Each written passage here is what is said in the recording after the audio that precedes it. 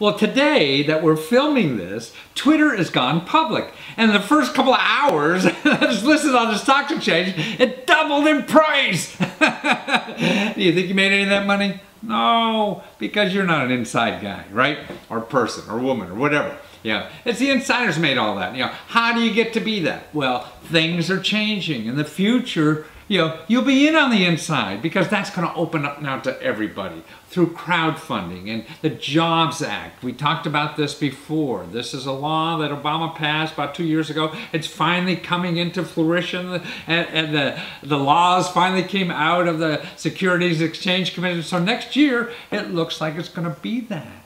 And not only will be able to take companies public for very little money, but you can invest in public companies like that or initial public offerings, IPOs. That's what Twitter was about. But only inside fat cats were involved. Now it's going to be on the web and anybody with a few bucks in their pocket can be part of it. You know, and there's going to be websites popping up to help you do that and help you evaluate it. And see what's neat about this is that you'll be able to find out what where the rich folks who spend all their time worrying about this stuff where they think the money is because it's public information who's investing in what. And so if you even with a hundred bucks could invest in the same the same place that somebody with a billion dollars is, and you'll know there'll be data on the website to do this. So it's a neat thing that's happening for investors and really as an entrepreneur to raise money instead of costing you hundreds of thousands of dollars in legal fees, it'll probably cost you a few hundred or something if you're if it's that much. So watch this interview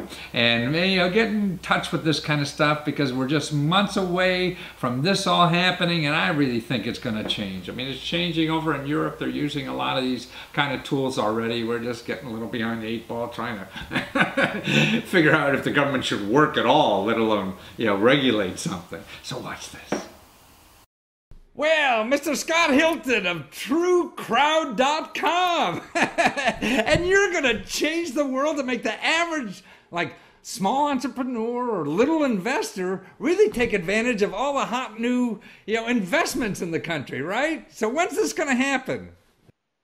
Uh, that's right matthew. I mean we're hoping to you know to get this going as soon as possible. We're just waiting on the sec to finish some rules and uh, we're finishing up the platform and then we'll get it going. So very excited about the opportunity for for everybody on both sides of the of the issue well, but people don't realize, I mean, they're watching this, that, you know, like a year and a half ago, I mean, Obama passed this Jobs Act. You know, they're trying to create jobs in this country, and they put a little thing in there that said, hey, we're going to now make it people be able to go on the internet and invest in real small companies and don't have to and the little companies don't have to fool with the SEC and spending all kind of legal paperwork to get funding money and and you or me or anybody off the street can now get an investment like the next Facebook and not having to join some country club, right?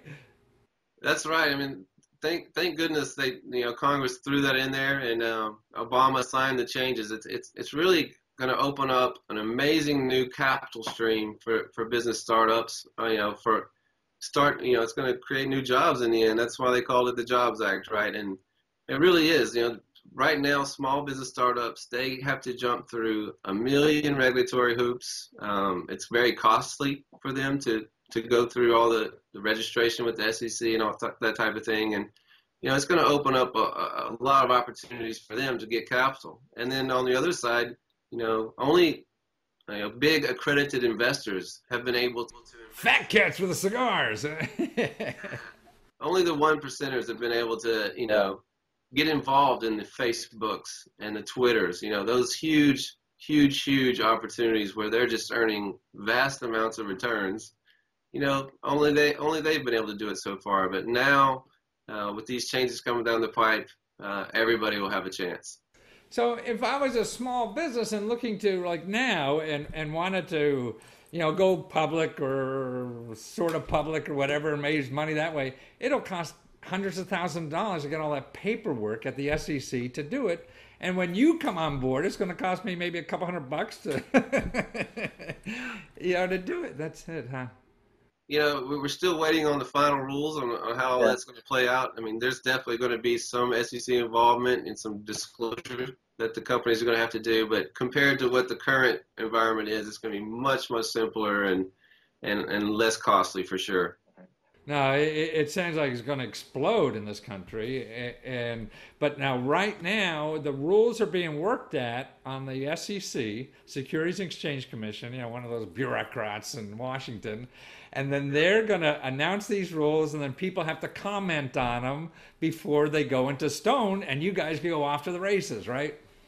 That's right. We're just waiting on them. I mean, we, you know, we have the um, the overall cloud view of what's going to happen, but the details are still coming down the pipe. You know, you know, we're we're trying to set it up where, you know, we we we want to do our own due diligence and make sure that that we don't do the least amount possible. We may we may do a little more than the SEC uh, requires. You know, we're probably going to set it up to where, you know, worst case scenario type thing, and then if we can back off of that, we will.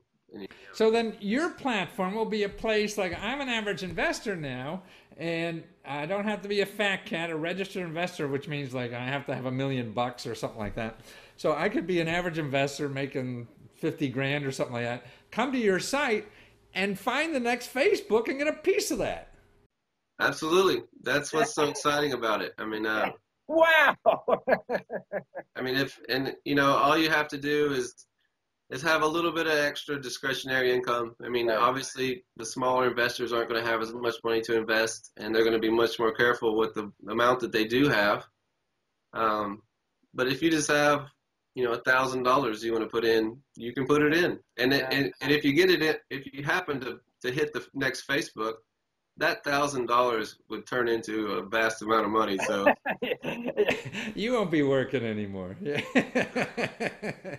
but more importantly, I think that this it's like getting the lottery. Right, it, and, and, that's what it is in a way. But it, it's better than lottery to me because it's doing something important. You're creating a job, you're creating a business, you're you know, uh, and you can invest in something that you really believe in. And you can also see who else is investing. So if that fat cat who spends a lifetime studying this stuff, you know what they bought, and you can just hook on their tape, coattails if you want. Yeah. That's right. I mean, that, that's one of the opportunities. You know, what's going to be unique about our platform is is we're going to get social media involved in a in a, in a very extensive way. Um, you know, it's called crowdfunding for a reason. I mean, the crowd you know, it's, it's who we're going to, to get involved, not just, you know, we're not going to really, you know, obviously the individual investors have to do their thing, but they can rely on what everybody else is doing. They will be able to communicate through social media with other investors.